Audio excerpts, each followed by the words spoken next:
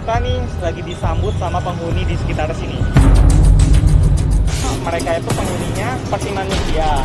Cuman bentuknya itu eh, manusianya aneh-aneh. Mereka kayaknya jahil-jahil sih. Hah?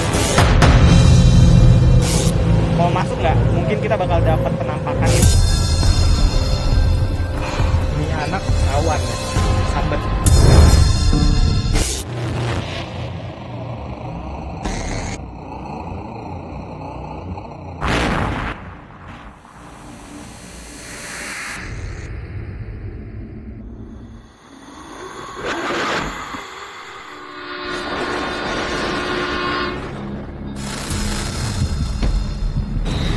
Semuanya, kembali lagi di YouTube-nya Cinta. Kali ini kita akan masuk ke segmen yang namanya um, Misteri Cinta. Nah kali ini ada baru namanya Misteri Cinta.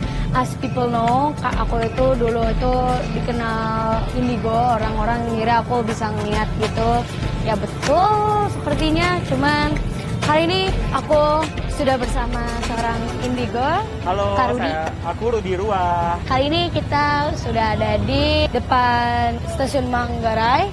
Dikenal oleh banyak orang tuh katanya tuh horor. Kenapa ada Kak Rudi di sini? Jadi Kak Rudi ini em, bisa melihat ya, bisa melihat ada makhluk apa aja juga di situ. Dan kali ini kita mau menginvestigasi dan juga nanya-nanya sama orang-orang yang berpengalaman cerita-cerita gitu. Kak Rudi, Ya, kita ngomong soal kereta hantu Manggarai, betul? ya. Ya. Apa yang Kak Rudi tahu tentang itu? Eh, dari cerita yang beredar yang aku tahu Hmm. di sini tuh ada mitos Hmm. eh, urban legend ya Hmm. itu ada kereta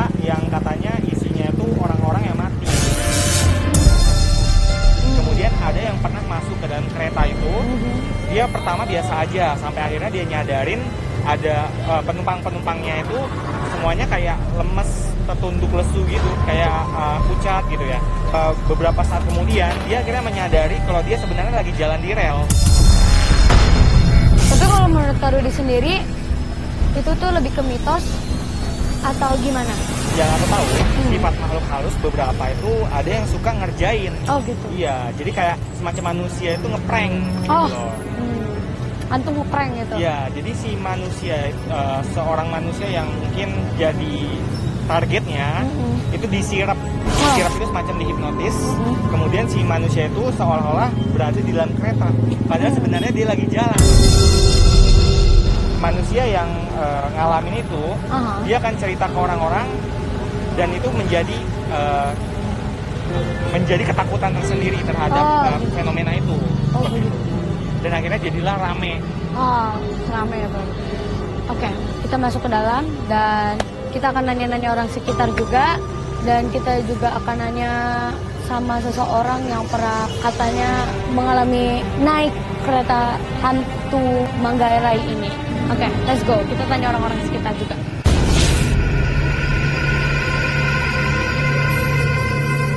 Sekarang nih uh, nyium bau dupa nggak?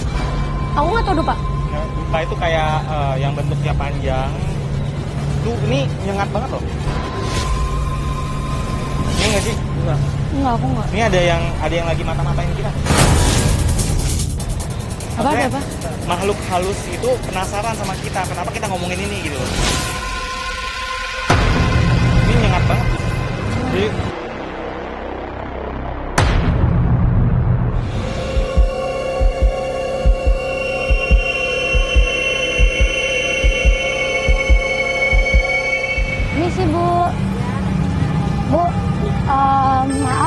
waktu Ibu. Mau nanya dong, Em, Ibu pernah dengar tentang kereta hantu Manggarai gak Bu? Boleh tolong ceritain Bu? Yang Ibu tahu, yang Ibu tahu. saya lagi dulu pernah lagi saya lagi dagang di Pantasiur kota Manggarai empat malam ya setengah dua Setengah dua. setengah dua malam Terus? jalan sendiri keretanya tapi nggak ada mas servisnya nggak ada Ibu lihat sendiri itu jalan. nah, jalan setengah dua tapi berhenti pas subuh berhenti di itu di atas tuh yang mau turun itu Cikini Oh gitu. Heeh, mau turun tuh mau turun Oh gimana kak em, cerita ini? Eh, itu sebenarnya semuanya halusinasi sih Oh gitu. semacam eh, mind control gitu jadi si Hmm. makhluk halus itu menggerakkan pikiran manusia yang menjadi targetnya jadi seolah-olah eh, mengalami itu tapi sebenarnya kejadian nggak kayak gitu itu seperti berjalan sambil tidur sebenarnya kalau kereta dalam bentuk fisiknya itu nggak mungkin ada gitu Berarti ibu ini dipengaruhi oleh makhluk halus gitu. Eh, ya Selain kereta yang jalan, ada ibu pernah dengar apa lagi? banyak sih yang kejadian Hmm.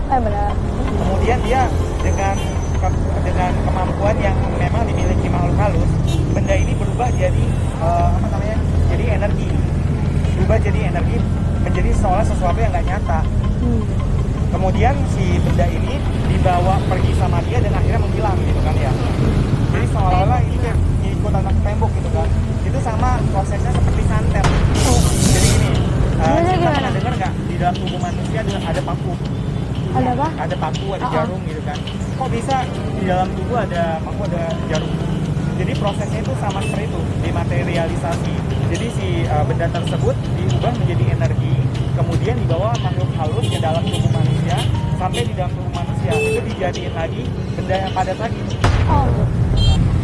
Yaudah, makasih banyak ya Bu. Maaf dan waktu buang waktu Ibu. Makasih ya Bu. Uh, kamu tahu nggak Apa tuh? kita nih lagi disambut sama penghuni di sekitar sini jadi di dalam stasiun ini aku ngerasa kayak semacam ada em, perkampungan gaib.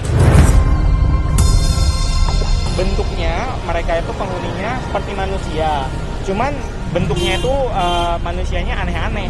Jadi Hmm. kayak ada yang matanya belok ada yang tangannya empat gitu ada yang pucat tapi matanya hitam kosong ada yang Hmm. kupingnya panjang.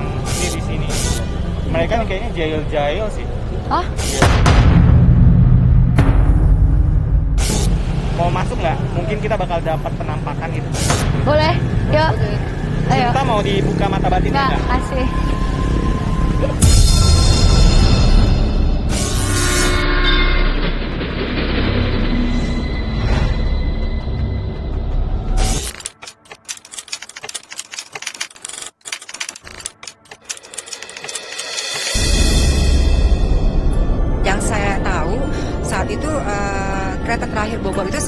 9 setengah 10 dan saya eh, sampai stasiun Bogor itu di jam 9, jam 10 jam 10 lewat lah kurang lebih.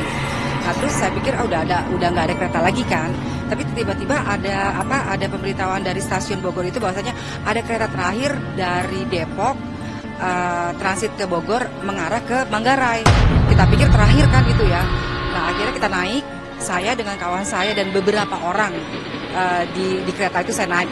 Tapi ternyata pada saya naik kereta sebelum saya sudah ada beberapa orang di kereta itu. Pada saat eh, naik kereta sih nggak ada masalah apa-apa. Tapi setelah kira-kira 5 atau 10 menit saya melihat keanehan di kereta itu. Saya lihat kok mbak-mbak itu, mas-mas itu, kok mereka diem aja gitu loh.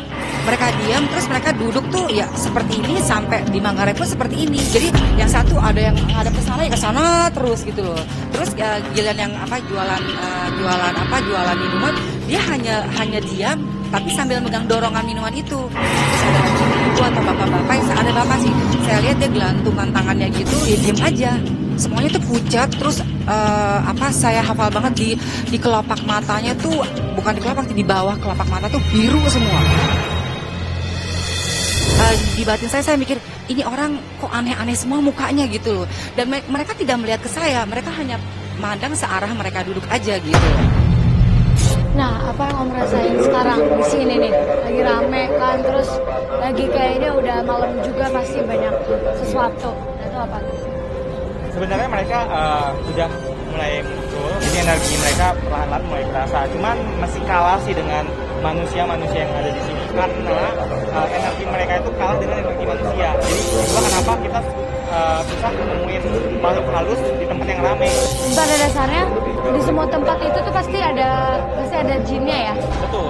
Karena jumlah manusia sama jumlah jin itu jutaan kali lebih banyak jumlah jin. Oh gitu. Iya. Cuman ya beda dimensi aja. Nah kali ini kita udah sama seseorang yang udah aku hubungin dari DM, betul? Betul. Dan kali ini kita udah naik kereta. Um, kali ini aku juga mau nanya-nanya nih apa kakak, kakak pernah pengalaman berpengalaman melihat gitu atau gimana kan? di stasiunnya tapi di uh, toilet. Uh, waktu itu aku sama temen aku kan, terus uh, temen aku itu ke toiletnya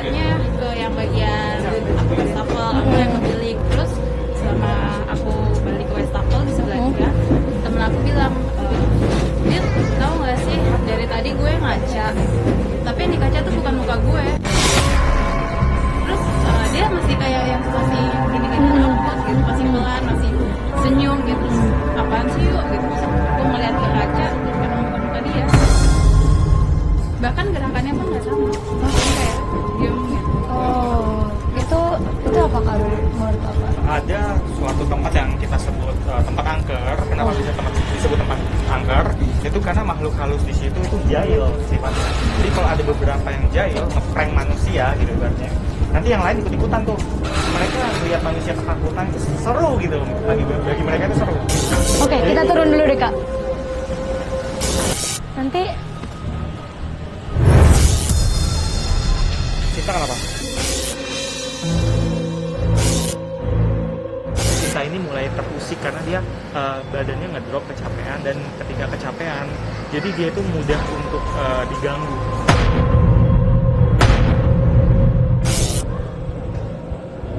Uh, cinta dan aku juga sama. Sensitif. Cuma kami beda. Beda apa sih? Uh, daya tahan tubuhnya beda. Karena gitu. Cinta rasanya apa? Kita balik aja deh om. Kita balik aja.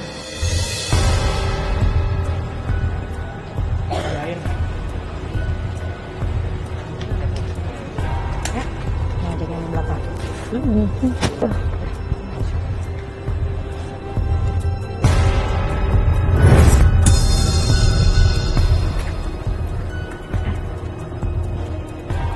Nggak apa-apa.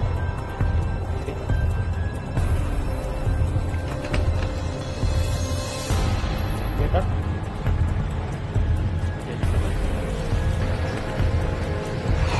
Ini anak sawan ya, kesambet.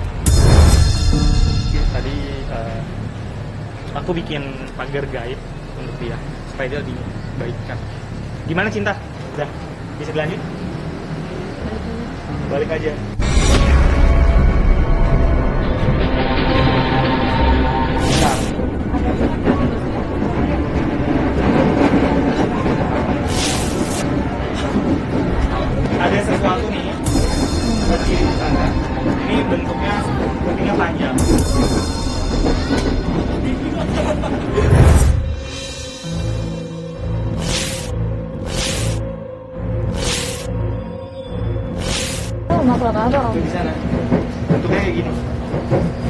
Apa kak?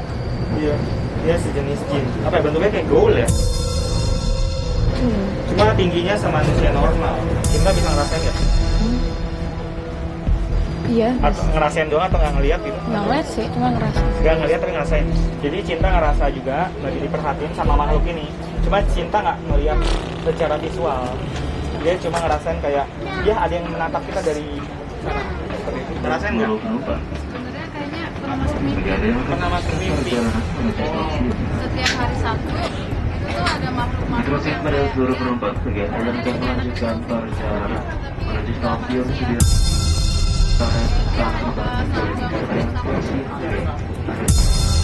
Kak, eh, makasih banyak udah sharing juga ceritanya kakak tentang Susu Manggarai ini juga. Makasih banyak. Um, Kak Rudi, Em, menurut kakak ini kakak ini indigo juga atau gimana? dia itu sensitif dan kebetulan makhluk-makhluk itu uh, suka mengganggu dia begitu. Um, jadi kesimpulannya itu menurut kakak tuh emang hantu Manggarai itu Manggarai itu hantu atau gimana?